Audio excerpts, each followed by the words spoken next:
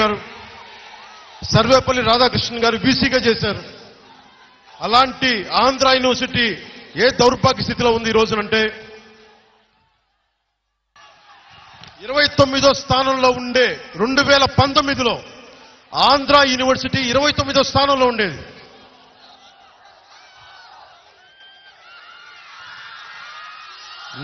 National institution ranking framework వాళ్ళు ఇచ్చింది.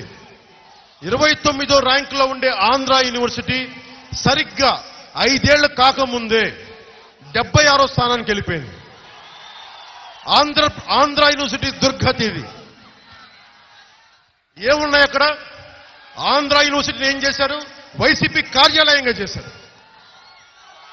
గంజాయి అమ్మకాలు సెక్యూరిటీ వాళ్ళు గంజాయిలు అమ్ముతారు అక్కడ ఆంధ్ర యూనివర్సిటీలో. వైసీపీ నాయకులు పుట్టినరోజులు చేస్తారు. మందు సప్లైలు. విద్యార్థులకి మేము అండగా ఉంటామని చెప్పి హాస్టల్ ఫెసిలిటీస్కి దాదాపు ఫీజు పెంచేశారు రెండు వేల ఐదు వందలు ఉండే ఫీజు మూడు వేల ఐదు వందల రూపాయలు చేశారు ఈ రోజున. Horticulture biotechnology fisheries fisheries agriculture లాంటి కీలకమైన డిపార్ట్మెంట్లు తీసేశారు. వెయ్యి మంది అధ్యాపకులు అవసరమైతే ఈ రోజుకి దాన్ని నింపలేదు. ఇవన్నీ నింపకపోగా ఆంధ్ర యూనివర్సిటీ వీసీ ఎమ్మెల్సీ ఎన్నికలకి వెళ్ళి కాలేజ్ ప్రిన్సిపాల్స్ అందరికీ ఓట్లు వేయించడని అడుగుతాడు ఆయన. వీసీని ఒకటే అడుగుతున్నాను ఇక్కడ. మీరు పనిచేసేది విద్యార్థుల కోసమా వైసీపీ నాయకుల కోసమా? అది మీరు ఆలోచించుకోండి. చాలా బాధేస్తుంది. మీరు చదువుకున్న వ్యక్తులు మీరు కూడా రాజ్యాంగాన్ని ఉల్లంఘిస్తే మీ మీద ఎలాంటి చర్యలు తీసుకోవాలి? హెచ్ఆర్డి హ్యూమన్ రిసోర్సెస్ డిపార్ట్మెంట్కి నేను ఖచ్చితంగా మీ గురించి ఆంధ్ర యూనివర్సిటీ బీసీ గురించి కేంద్ర ప్రభుత్వానికి ఖచ్చితంగా తెలియజేస్తాం ఇలాగే వదిలేస్తే ఆంధ్ర యూనివర్సిటీ రియల్ ఎస్టేట్ ముక్కగా అమ్మేసుకుంటారు వీళ్ళు.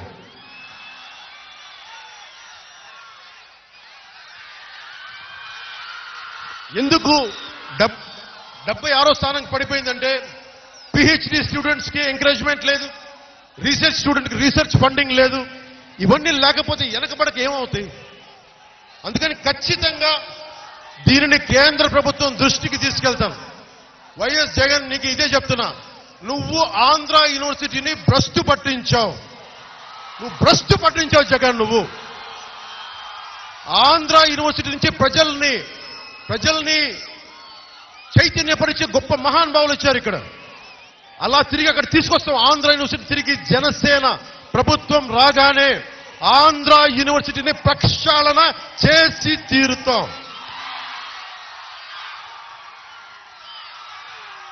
ఇదే విశాఖ జిల్లాకి మాట్లాడితే వైసీపీ నాయకులు ఢిల్లీకి వెళ్తే నాకు ఇంటర్వ్యూలు ఇవ్వలేదు.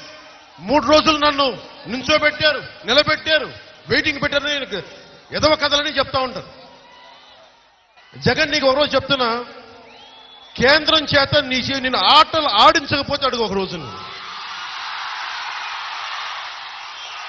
జగన్ ఎమ్మెల్యేల మీద జగన్కి మద్దతు ఇస్తున్న దోపిడీ చేస్తున్న ప్రతి మైనింగ్ చేసి సహజ వనరులు దోస్తున్న కాంట్రాక్ట్లు పెట్టి రాష్ట్రాన్ని అతలాకుతలం చేస్తున్న ప్రతి ఒక్కరి ఫైల్ కేంద్ర ప్రభుత్వం మీ దగ్గర ఉంది. త్వరలో ఏదో ఒక రోజున సమీప భవిష్యత్తులో కావచ్చు ఇంకొంచెం దూర భవిష్యత్తులో కావచ్చు ప్రతి ఒక్కరిది బయటికి వస్తుంది. మీ చర్మాంకం స్థితికి మీరు చేరుకున్నా మేము చేస్తాం. మనకి హోంమంత్రి అమిత్ షా గారు చెప్పింది విశాఖ జిల్లా సంఘ విద్రోహ శక్తుల అడ్డా కింద అయిపోయింది. ల్యాండ్ స్కామ్స్ ఎక్కువైపోయినాయి. మైనింగ్ స్కామ్స్ ఎక్కువైపోయినాయి.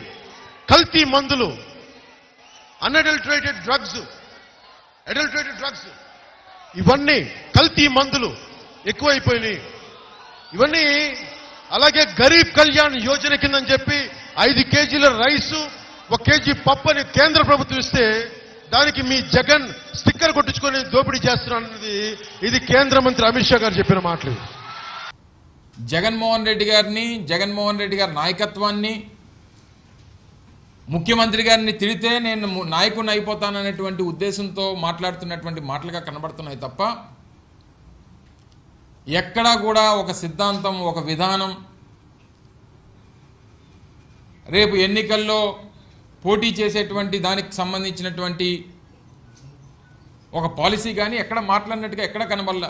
అది మొన్న ఈస్ట్ గోదావరి కానీ దానికి ముందు జరిగినటువంటి వెస్ట్ గోదావరిలో జరిగినటువంటి సమావేశాల్లో కానీ ఇప్పుడు మన ఉత్తరాంధ్ర విశాఖపట్నంలో జరిగినటువంటి సమావేశాల్లో కానీ సినిమాల్లో నువ్వు కథానాయకుడిగా నీ మీ తాలూకా జీవితం ఏదైతే ఉందో మీరు తీసేటువంటి కథల్లో మీరు తీసేటువంటి సినిమాల్లో అది బాగుంటుందేమో తప్ప ప్రజా జీవితంలో వచ్చి ప్రజల మధ్యలోకి వచ్చి నాయకుడిగా ఎదిగినటువంటి జగన్మోహన్ రెడ్డి గారిని తిడితే నేను నాయకుడిని అయిపోతాననేటువంటి ఈ అమాయకుడిని చూసి జాలేస్తా ఉంది. ఎవరు ఈయనకి ఈ ఫీడ్బ్యాక్ ఇస్తా ఉన్నారో? ఆయన డాడీ చంద్రబాబు నాయుడు గారు చెప్పేటువంటి మాటలు విని ఈ రకంగా నువ్వు పదిహేను సంవత్సరాల క్రితం రాజకీయాల్లోకి వచ్చావు. రెండు వేల ఎనిమిదిలో ప్రజారాజ్యం పెట్టినప్పుడు పెద్దలు చిరంజీవి గారు ప్రజారాజ్యం పెట్టినప్పుడు ఒక యువరాజ్యం ఒక విభాగానికి అధ్యక్షుడిగా రాజకీయ ఆరంగరేటం చేసినటువంటి మీరు. పదిహేను సంవత్సరాలు రాజకీయాల్లో ఉన్నటువంటి మీరు. ఏం సాధించారు అనేటువంటిది ఒకసారి చెప్పండి. ఓ పది సంవత్సరాల నుంచి ఒక రాజకీయ పార్టీకి అధ్యక్షుడిగా ఉన్నారు. ఒక విధానం లేదు. ఒక సిద్ధాంతం లేదు. ఒక స్థిరత్వం లేదు. నేను ఒక పక్క విప్లవవాదిని అంటావు. ఒక పక్క భారతీయ జనతా పార్టీతో ఉంటావు. గడిచినటువంటి తొమ్మిది సంవత్సరాలుగా రెండు వేల పద్నాలుగు నుంచి ఇప్పుడు ఇరవై మూడు వరకు దాదాపు ఆరేడు రాజకీయ పార్టీలతో పొత్తులు పెట్టుకున్నావు. ఒక పార్టీకి ఒక పార్టీకి విధానాలు కూడా సెట్ అవ్వనటువంటి రాజకీయ పార్టీలు. రెండు వేల పద్నాలుగులో తెలుగుదేశం భారతీయ జనతా పార్టీ. రెండు వేల పంతొమ్మిది వచ్చేసరికి సిపిఐ సిపిఎం బిఎస్పి ఆ రాజకీయ పార్టీతో మళ్ళీ రెండు వేల పంతొమ్మిదిలో ఓడిపోయిన తర్వాత మళ్ళీ భారతీయ జనతా పార్టీతో. ఇప్పుడు సంసారం ఏమో భారతీయ జనతా పార్టీతో సహజీవనం ఏమో తెలుగుదేశం పార్టీతో. ఇది మన రాజకీయ అనుభవం. రాజకీయాల్లో మనం చేస్తున్నటువంటి కార్యక్రమాలు. రాజకీయంగా మన తాలూకా వ్యక్తిత్వం ఇది ఇక వచ్చినప్పుడు ప్రతిసారి జగన్మోహన్ రెడ్డి గారి మీద నోరు పారేసుకోవడం ఏమనంటే మీకు మహిళల గురించి ఎక్కలేని బాధ వచ్చేస్తుంది నాకు. ఈ మధ్య చూస్తా ఉన్నా. నిన్న కూడా మాట్లాడుతూ ఏదో ముప్పై వేల మంది మహిళలు మిస్ అయిపోయారని వాలంటీర్లు ఏదో హ్యూమన్ ట్రాఫికింగ్ చేస్తున్నారని ఈ లేనిపోయినటువంటి విషయాలు అన్నీ కూడా మాట్లాడుతూ ఉన్నారు. ఒక సందర్భంలో ఒక మీ ఎల్లో మీడియాకి సంబంధించినటువంటి ఒక టీవీ ఛానల్లో సినిమాల్లో ఒక మా మాట నేను అనడం బాగోదు కానీ సినిమాల్లో మహిళల గురించి ఒక యాంకర్ నోటికొచ్చినటువంటి మాటలు మాట్లాడితే ఆ సినిమా పరిశ్రమలో ఉన్నటువంటి మహిళల గురించి నోటికొచ్చినటువంటి మాటలు మాట్లాడితే అప్పుడు ఎక్కడ దాక్కున్నావు నువ్వు? కనీసం మీ నీకు ఈరోజు ఈ స్థాయినిచ్చినటువంటి సిరి సినీ పరిశ్రమలో ఉన్నటువంటి మహిళల గురించి మాట్లాడినప్పుడు మెదపనటువంటి నోరు. ఈరోజు నీకు ఈ రాష్ట్రంలో ఉన్నటువంటి మహిళల గురించి ఈ ప్రాంతంలో ఉన్నటువంటి మహిళల గురించి ఈరోజు ప్రభుత్వాన్ని ఎన్సీఆర్బి రికార్డ్స్ లాస్ట్ టైం నేను మాట్లాడినప్పుడు కూడా చెప్పాను. ఎవ్రీ ఇయర్ ఇచ్చేటువంటి రిపోర్ట్స్ ప్రకారం వచ్చినటువంటి ఆయా పోలీస్ స్టేషన్స్లో నమోదైనటువంటి కేసెస్ని ఆధారంగా ఇచ్చేటటువంటి రిపోర్ట్ అది. వీళ్ళేదో వాలంటీర్లు వీళ్ళందరినీ తీసుకెళ్ళిపోయినట్టు.